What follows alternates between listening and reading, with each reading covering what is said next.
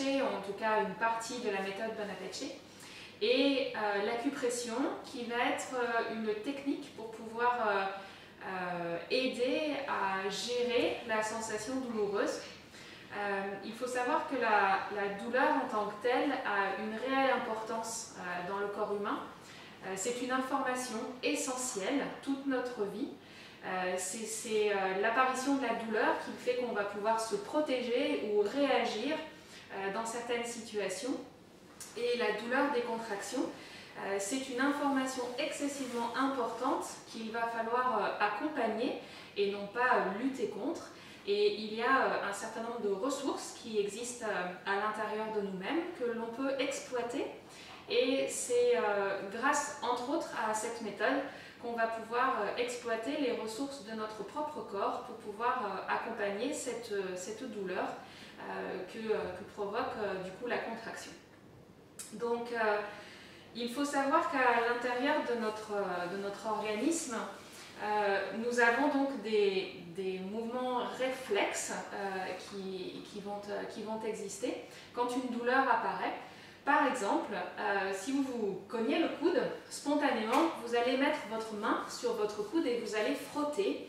Euh, ce réflexe, c'est un réflexe ancestral que l'on a tous. Et lorsqu'on fait ça, en fait, on vient interrompre la transmission du message douloureux euh, à notre cerveau et on vient diminuer la, sensation, la sensation de douleur. Donc c'est quelque chose qui nous est propre, on fait tous ça, on sait tous faire ça et on va pouvoir le mettre en pratique de façon consciente euh, lors de l'accouchement. Par exemple, euh, quand il y a une sensation euh, douloureuse au niveau des reins, si Fred, tu veux bien te mettre dans cette, dans cette position-là, parfois les, les, contractions, la succession des contractions provoque une certaine tension sur la zone lombaire et par des massages qui sont non douloureux, on va venir euh, petit à petit euh, éteindre, en tout cas atténuer la douleur, euh, la douleur de, ces, de ces contractions et cette tension au niveau lombaire. Donc ça, c'est une, c'est une première technique qui est simple et qui est très à la portée de, tout le monde. Donc on va pouvoir venir soulager, le partenaire ou la partenaire va pouvoir venir soulager une, une zone sensible euh, soit par des massages relativement profonds, en mobilisant un petit peu, euh, un petit peu le, bassin, euh, soit en partant du haut du dos et venir étendre toute la colonne. Et donc ce massage non douloureux sur une zone douloureuse va permettre d'éteindre un petit peu cette, cette douleur. Merci. Donc c'est ce qu'on va appeler la théorie du portillon. En fait, la douleur monte et on vient fermer le portillon euh, par, le, par, les massages, euh, par les massages agréables. Euh, une deuxième possibilité de pouvoir court-circuiter cette douleur et de pouvoir l'éteindre, justement cette première douleur, il existe sur notre corps ce qu'on va appeler des points gâchettes. en anglais, on va appeler ça trigger points. Ce sont des, points qui sont des points d'acupuncture que l'on va venir utiliser en acupression et euh, ce sont ces points que l'on va, euh, va, pouvoir euh, vous montrer avec Frédéric, des points qui vont être très intéressants à utiliser au cours du travail. Alors, pourquoi utiliser ces points? Ces points gâchettes, ce sont des points douloureux. Alors, on peut se dire, mais on a déjà mal, on ne va pas se faire mal une deuxième fois. Eh bien, si. En fait, on va venir euh, à nouveau court-circuiter euh, le, message, le, premier message douloureux euh, avec un second message douloureux à, son tour, mais que l'on va pouvoir maîtriser celui-ci. Donc l'idée, c'est de détourner l'attention du, cerveau de cette première douleur. le cerveau se concentre sur un premier message. Si on lui donne un autre message simultané, il va lâcher le premier et se concentrer sur le deuxième. Et ce deuxième point euh, douloureux, ça va être justement ces, points de gâchette, ces points euh, trigger points. Et on va venir accentuer du coup le message sur ce deuxième point. Et le cerveau du coup va laisser la douleur de la contraction de côté pour venir se concentrer sur ce deuxième message. D'où l'intérêt que, alors on peut, on peut bien sûr utiliser ces points gâchettes tout seul, les masser et les stimuler tout seul, mais l'intérêt va être vraiment le rôle du partenaire pour pouvoir être, euh, être ensemble dans cette, euh, dans cette, euh, dans cette gestion.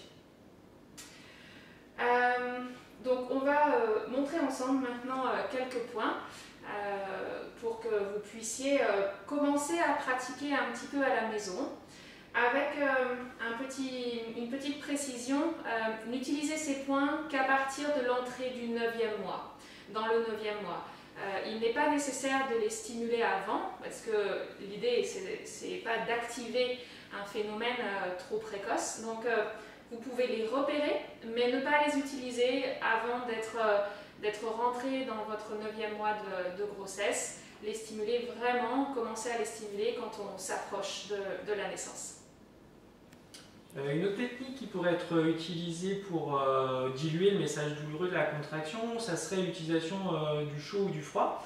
Et donc, si on vient appliquer une sensation chaude ou une sensation froide au niveau de la zone qui est tendue ou douloureuse, eh ben, on va avoir cette dilution de la sensation de la contraction. Donc, on peut utiliser tout à fait les bouillottes, que ce soit sur le bas du dos ou sur le bas-ventre pendant le début du travail et tout le travail quand il y a la contraction.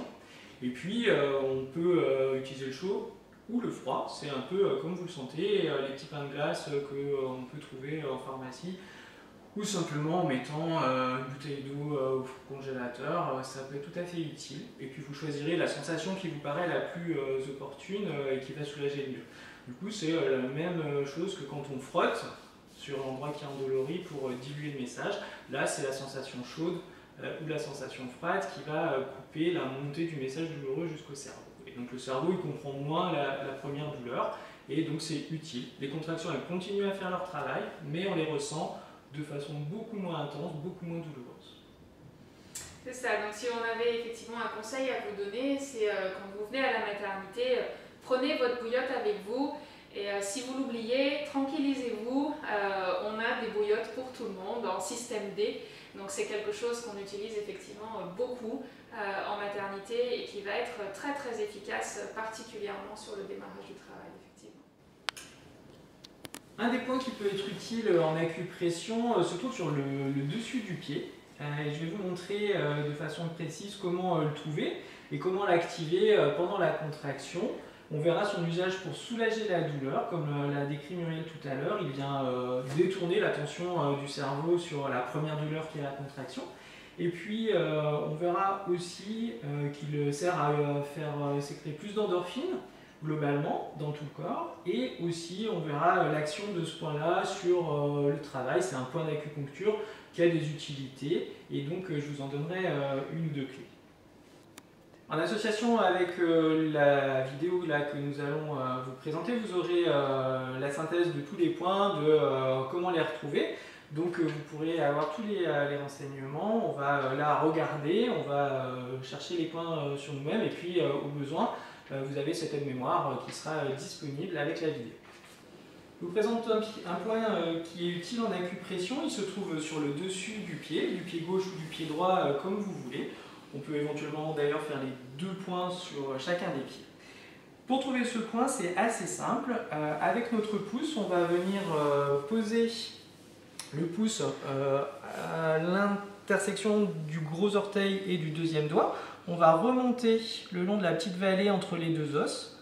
Et quand on sent qu'il y a un rétrécissement, que les deux os se resserrent, on va pouvoir venir chercher avec la perpendiculaire ce euh, point qui est assez euh, vif, assez euh, douloureux. Et donc du coup, on va venir acupresser pendant 10, 15, 20 secondes sur la contraction qui monte, qui fait son plateau et qui va redescendre. On peut venir mettre le poids du corps si on cherche une intensité maximum et sinon simplement le doigt qui vient comme si on voulait traverser l'espace entre les deux, euh, les deux orteils. C'est également un point qu'on peut utiliser euh, pour euh, les tensions quand on sent que la personne est tendue. Par exemple, quand le travail avance doucement ou que le col, le col de l'utérus est rigide, c'est un point qui relâche et que l'on peut utiliser à la fois pour la douleur, pour contrer la douleur en acupression, et pour stimuler sa vertu de point d'acupuncture qui est un point de relâchement du col. Alors du coup, il y a un autre, un autre point qu'on va pouvoir voir ensemble. Euh, c'est un point qui va être situé sur euh, la partie interne de notre, de notre cheville. Et pour le trouver, ce point, on va utiliser euh, notre propre main. Ça a vraiment une importance parce que les points d'acupression se repèrent par rapport à notre propre morphologie. C'est-à-dire que si c'est votre conjoint qui vient appuyer sur ce point, il faut qu'il prenne votre main comme repère et non pas la sienne, parce que euh, c'est vraiment votre morphologie qui est le repère. Donc pour trouver ce point, je vais mettre euh, mes quatre doigts euh, joints et je vais utiliser la largeur de mes doigts. Je vais me placer juste au-dessus de la partie la plus saillante de la malléole. Je viens placer ma main à, à cet endroit-là et comme si vous aviez la couture du pantalon qui traversait ici, je vais venir placer mon doigt juste derrière cette couture de pantalon, juste derrière l'os. Vous sentez votre os qui est là. Et je viens du coup poser mon doigt juste derrière l'os du pantalon. Et ce point va être à cet endroit, à cet endroit-là. Et je vais venir de la même façon euh, stimuler, masser en profondeur. C'est un point qui va être sensible quand, euh, quand, on, est, euh, quand on est bien situé. Et de la même façon, sur le temps de la contraction, je vais venir stimuler ce point-là ou mon partenaire va venir stimuler ce point. Point que vous allez également retrouver sur la plaquette. Donc on remonte la main à plat, juste au-dessus de la partie la plus saillante de la malléole, la couture du pantalon, je viens me placer juste derrière la couture du pantalon sur ce point. Le point suivant est un point que l'on va retrouver aussi sur le bas de la jambe, derrière la cheville. On est sur le bord externe de la jambe. Il est facile de repérer la malléole, c'est-à-dire la pointe euh, de la cheville. Et nous allons venir presser avec notre pouce entre la pointe de la malléole et le tendon d'Achille, dans la petite vallée qui euh, est entre ces deux, euh, le tendon et la pointe de la cheville. Il suffit de venir mettre la pointe du pouce entre ces deux reliefs et de venir presser de façon intense, comme si on cherchait euh, une sensation d'appuyer sur un bleu ou de chercher quelque chose de vraiment très appuyé. Et ça, on le fait tout le temps de la contraction qui monte jusqu'à ce qu'elle arrive en plateau pendant 15, 20, 30 secondes et ensuite on peut relâcher progressivement quand la maman indique que la contraction est en train de redescendre. Ce point va être euh, utilisé particulièrement quand on va euh, vouloir aider le bébé à descendre dans le bassin. C'est un point qu'on va venir stimuler euh, particulièrement. voilà, parfois les bébés restent un petit peu haut dans, l'utérus de leur maman et pour l'aider à descendre dans le bassin, on va venir plus favorablement stimuler ce point-là. Alors un autre point qu'on va, va venir stimuler et qui est relativement facile à stimuler dans plein de positions que la maman va pouvoir prendre pendant le travail, il est situé sur nos, sur nos mains. Alors je vais prendre plutôt ta main, ta main droite Frédéric. De la même façon euh, que l'on va utiliser les deux os du pied euh, pour aller chercher le point qui est sur le pied, on va se servir de nos deux os, euh, de l'index et du pouce. Je vais venir au centre, au centre à la réunion entre les, entre les deux os. Pour le trouver plus facilement, on peut également joindre le pouce et l'index. Et là où se trouve une petite bosse, quand on écarte le pouce et l'index, on est sur le point. Et euh, mon souhait va être euh, d'appuyer en direction euh, de l'os de l'index juste dessous. Je vais exercer une pression en direction du sol et sous l'os de l'index, je vais venir stimuler ce point qui va être sensible quand on est dessus. N'hésitez pas à demander à votre partenaire si vous êtes au bon endroit. En général, quand on est au bon endroit, il nous le fait savoir. Mais voilà, c'est bien de savoir que l'on est, est sur, sur la, bonne disposition du point. Et on va relâcher quand la contraction, quand la contraction s'en va. Et par un mouvement de va-et-vient, au même rythme que la contraction, je vais venir stimuler ce point, reprendre mon repère et venir le stimuler intensément et fortement au fur et à mesure où la contraction s'intensifie pardon, et je vais me retirer au fur et à mesure que la contraction se relâche. Et au rythme de la respiration et du mouvement euh, de la contraction, je vais, euh, je vais venir stimuler ce point à ce rythme-là avec l'intensité, le relâchement, l'intensité et le relâchement. C'est également un point intéressant parce qu'on peut faire de l'auto-acupression avec ce point particulièrement, c'est-à-dire je vais moi-même aller stimuler ce point parce que mon partenaire n'est euh, pas disponible pendant un moment et je peux tout à fait, une fois que je l'ai repéré, venir faire cette acupression intense sur cette zone qui est sensible. Donc je cherche euh, quelque chose de presque douloureux, désagréable pour venir contrer et euh, la sensation de la contraction et aussi faire que mon cerveau va fabriquer beaucoup plus d'endorphines. Le point suivant, c'est que euh, cette zone d'acupression, qui est un point d'acupuncture, est utile pendant le travail. C'est une zone qui va permettre de rapprocher les contractions, de les harmoniser, de les euh, rapprocher, de les euh, intensifier si elles sont un petit peu espacées. Et on peut tout à fait l'utiliser comme un peu un starter dans une voiture pour rapprocher et acquérir un rythme bien régulier des contractions pour qu'elles soient bien efficaces. D'autres points qui sont utiles en acupression, c'est les points qui sont situés au bas du dos, au bas de la colonne, au niveau euh, du euh, sacrum. Et du coup, c'est un endroit où il y a fréquemment des euh, sensations douloureuses des contractions. Nous allons pouvoir faire à la fois les massages et les pressions que nous avons présentées un petit peu avant. Donc simplement faire des pressions ou appliquer la bouillotte. Et puis dans un temps où la contraction monte et est bien présente, nous allons venir, avec la pointe des pouces, rechercher les points des fossettes au niveau euh, du sacrum. Je vous explique deux possibilités euh, pour trouver facilement ces points. Soit ils sont apparents et du coup il suffit juste de venir avec euh, la pulpe des pouces de part et d'autre de la ligne du milieu de la colonne vertébrale, appuyer dans les petites dépressions qui sont présentes et puis votre partenaire vous dira si c'est confortable ou si c'est efficace. N'hésitez pas à appuyer de façon assez forte, éventuellement même avec la, le poids du corps sur euh, ces points. C'est des points qui ne sont pas très douloureux si on les fait en dehors euh, du euh, travail, mais qui vont venir contrer les sensations des contractions dans le bas du dos, dans les reins. Une autre façon de trouver euh, ce point, ça serait de prendre euh, l'index, de euh, prendre deux phalanges, de venir poser le début de l'index au niveau du départ de l'arrêt des fesses et d'aller chercher un petit peu au-dessus et un petit peu de part et d'autre de la colonne.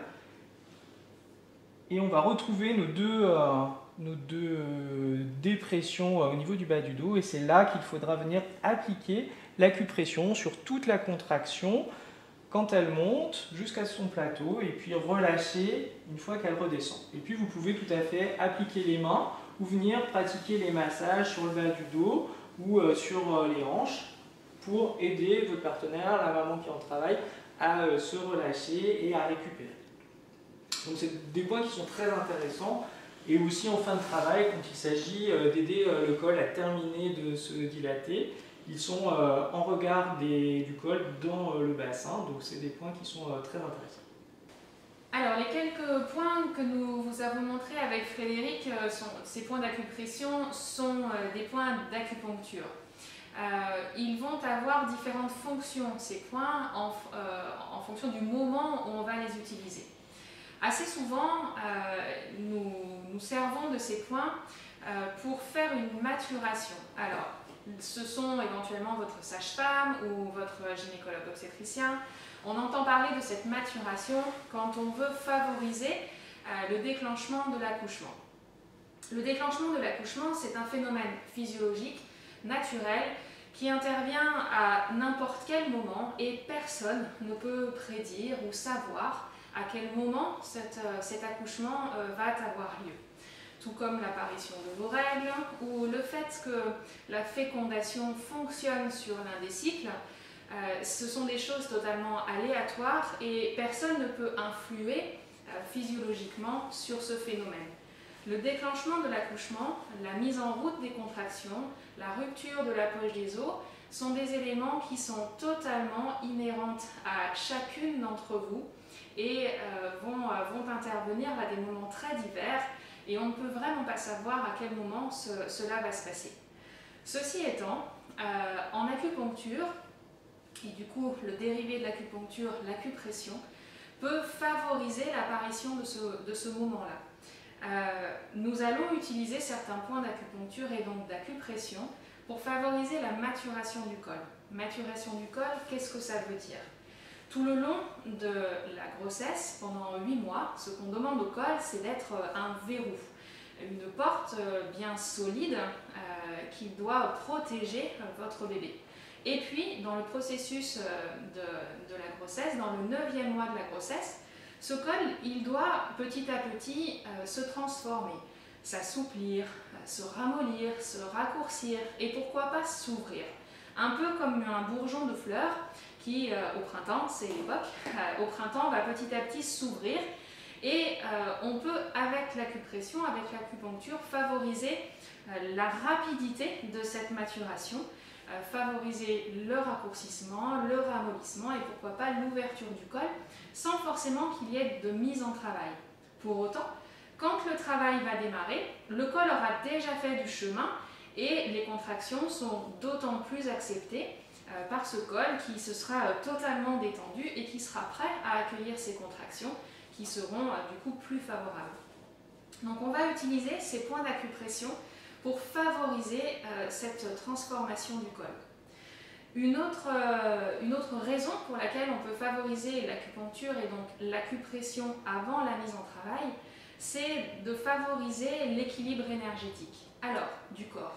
C'est un, un, grand concept euh, pour l'imager, je peux prendre euh, euh, l'exemple d'une feuille, d'une feuille sur un arbre à l'automne.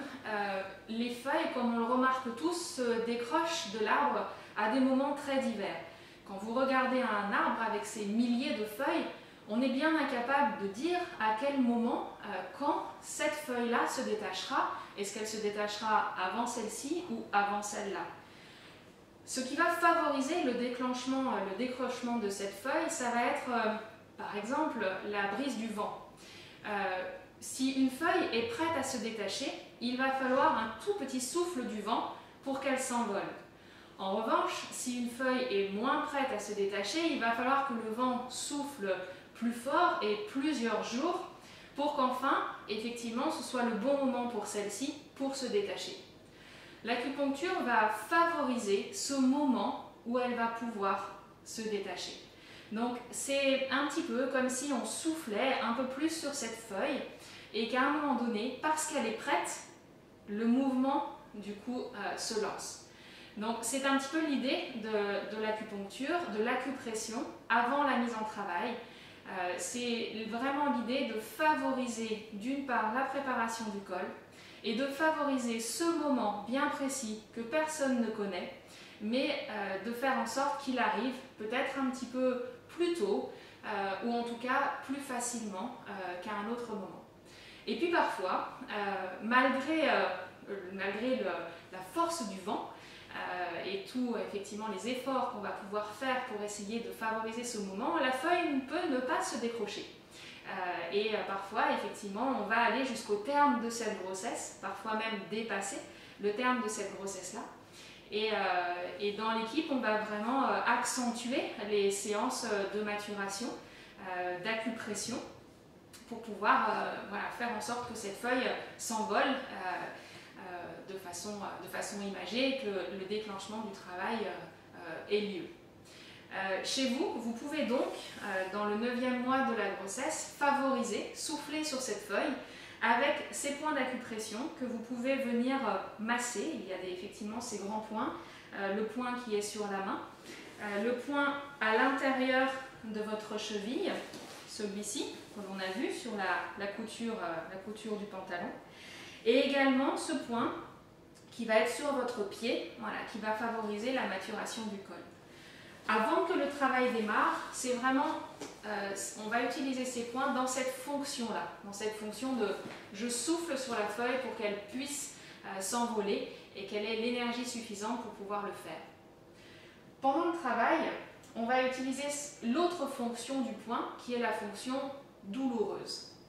Euh, on va bien évidemment, ça va toujours bien évidemment s'accompagner de la fonction première, mais on va utiliser cette fonction douloureuse euh, cette fonction douloureuse qui va permettre à notre corps de sécréter ce qu'on appelle des endorphines, qui sont des hormones naturelles que nous sécrétons euh, pour euh, lutter contre la sensation douloureuse. Venir appuyer sur ces points-là, c'est venir libérer nos endorphines physiologiques naturelles. Et pendant le travail, on va utiliser cette fonction-là de ces points pour pouvoir libérer les endorphines naturelles. Et cette fonction s'associe à la première, tout le bénéfice du coup de venir stimuler ces points pendant le travail. Voilà, on, associe vraiment euh, les deux fonctions. Donc euh, nous vous invitons à, pratiquer ces points euh, ensemble à la maison, de venir les tester et ressentir les choses pour, que, pour favoriser l'envolement de, la feuille, le déclenchement du travail spontané et puis également euh, pour que le jour J, vous soyez euh, totalement au fait euh, de cette pratique et que ça devienne quelque chose de naturel pour vous de venir stimuler ces points. Muriel on va vous proposer de mettre en application un petit peu les principes qu'on vient de voir d'acupression. On va faire une simulation du tempo de ce que c'est que le travail, une contraction qui dure environ une minute, deux minutes de pause, et puis de nouveau une contraction qui revient, ça jusqu'à ce que le bébé soit arrivé. Je vous propose d'utiliser des postures qui sont inconfortables et euh, Muriel viendra euh, faire l'acupression pendant euh, ce temps-là et puis ensuite on, prendra les deux minutes de récupération. Deux possibilités pour une posture inconfortable. La première serait de venir s'asseoir avec les doigts de pied repliés. On va s'asseoir sur nos talons et du coup ça va mettre de la pression sur les doigts de pied. Si vous avez euh, les doigts de pied sensibles, c'est euh, quelque chose qui devient vite euh, pénible. Et une autre possibilité d'avoir une posture d'étirement un peu inconfortable serait de venir, en mettant les doigts vers nous, de faire une flexion intense des, poignets. Une fois qu'on a posé les mains bien à plat sur le sol, on va venir tirer les fesses sur les talons et ça va venir faire un étirement qui va chauffer et qui va être assez intense sur les avant-bras. Donc ça, c'est le modèle d'une euh, expérience désagréable qui pourrait être une contraction utérine. Et du coup, nous allons utiliser euh, ça comme simulation. La contraction démarre, elle commence tranquillement. Et le partenaire va venir repérer le point d'acupression, celui qui est sur la main, et va venir exercer une pression intense sur le point d'acupression.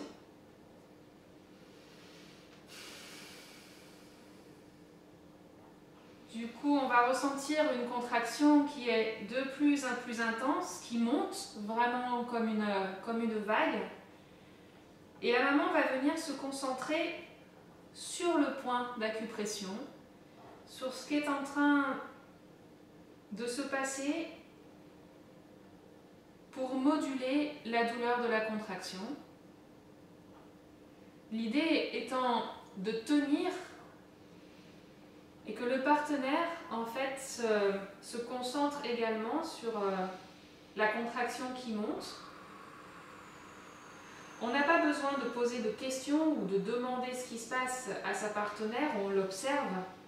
L'intensité de la respiration nous renseigne sur l'intensité du ressenti de la contraction et c'est ce qui va guider la pression que j'exerce sur le point d'acupression. Voilà, ça redescend. Je relâche le point d'acupression et il va y avoir une pause. Vous pouvez relâcher les épaules, mimer le relâchement pour que votre partenaire en miroir puisse le faire également. Détendre, relâcher les épaules, l'aider à, la décontraction. Pourquoi pas euh, se lever, bouger un petit peu le bassin, sans forcément parler. Là, les choses s'expliquent, mais en temps réel, euh, on n'a pas forcément besoin de parler, juste se regarder, se concentrer, mimer le relâchement pour que l'autre en regard puisse également euh, se mettre euh, dans ce relâchement. Un clin d'œil, une mise en confiance. La contraction petit à petit revient.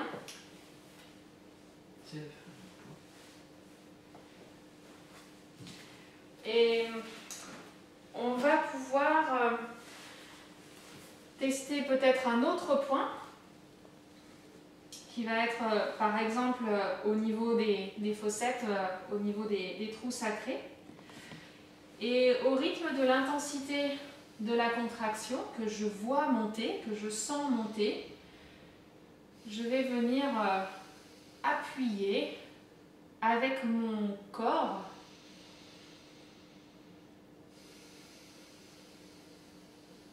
sur les points au niveau, euh, du sacrum.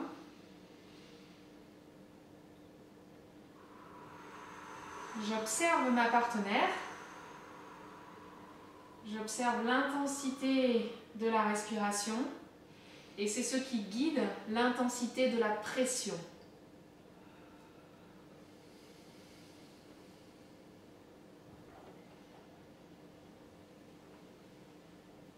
J'accompagne les, mouvements qu'elle va faire. Surtout, je ne lutte pas contre, je les accompagne tout en gardant euh, mes deux points.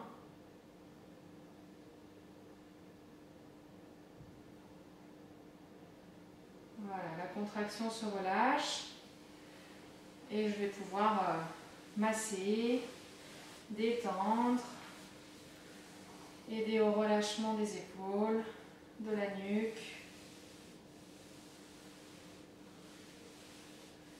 Une mise en confiance également. C'est bien, continue. Et surtout rester au présent. C'est vraiment très très très important de rester au présent pour aider votre partenaire à, être euh, dans de bonnes dispositions. Essayez à la maison de répéter cet exercice plusieurs fois au cours, euh, au cours des, dernières semaines. on est en période de confinement, vous avez peut-être un petit peu plus de moments où vous pourrez être ensemble. prenez ce temps, prenez ce temps ensemble euh, c'est un temps précieux euh, qui va être euh, très bénéfique le jour J. vous aurez l'habitude de, cette symbiose, l'habitude d'avoir pratiqué. Et quand le moment, le moment se, présentera, vous saurez faire. Et vous ne serez plus dans l'apprentissage, mais vraiment dans la, dans la pratique même, dans, dans l'exercice efficace de, cette, de cette technique. Donc euh, prenez ce temps-là à la maison pour euh, le faire, le refaire, vraiment pratiquer ça. Familiarisez-vous avec, euh, avec cette technique pour qu'elle porte tous ses bienfaits lorsque vous en aurez besoin. Quelques précisions par rapport à l'utilisation des points d'acupression. On a vu qu'il y avait vraiment deux aspects. Un aspect qui est la stimulation douce de ces points en les massant, en les automassant. Ça, c'est plutôt pour la maturation. Et puis euh, la maturation du col, la maturation euh, de la fin de la grossesse pour préparer l'accouchement.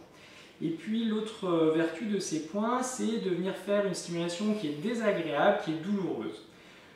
Pour cet apprentissage, il suffit juste que vous ayez une fois repéré la sensation, par exemple, douloureuse du point entre les deux doigts au-dessus de la main, Et ensuite, vous aurez juste à repérer l'endroit sans chercher à faire mal. Si vous pratiquez ces points pendant plusieurs jours dans la fin de la grossesse, inutile de faire des stimulations qui soient douloureuses. Elles reviendront le jour où il y aura les contractions et elles viendront contrer les contractions. Donc dans le laps de temps où vous aurez bien repéré une fois où est ce point parce qu'il est douloureux, les jours suivants, vous pourrez juste le stimuler en faisant un massage doux qui serait euh, comme un pressé tourné ou un mouvement de pompage dans ce point sans qu'il soit euh, douloureux, que ce soit vous qui vous le fassiez ou votre partenaire euh, qui vous le fasse.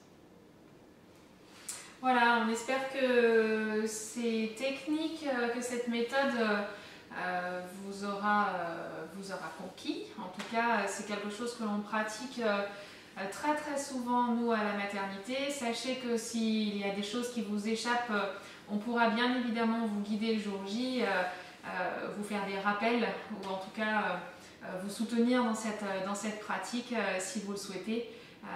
une très grande majorité de l'équipe est formée dans cette, dans cette pratique, donc tranquillisez-vous. Euh, avec ceci, euh, voilà, c'est quelque chose qu'on pourra tout à fait revoir ensemble euh, si jamais il y a des choses qui vous échappent. avec, avec grand plaisir, on sera là.